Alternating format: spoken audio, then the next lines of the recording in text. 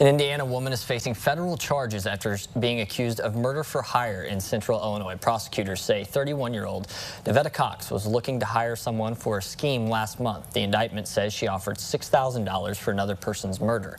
She was arrested in Charleston last month and has been in custody in Macon County. If she's convicted, she could face up to 20 years in prison.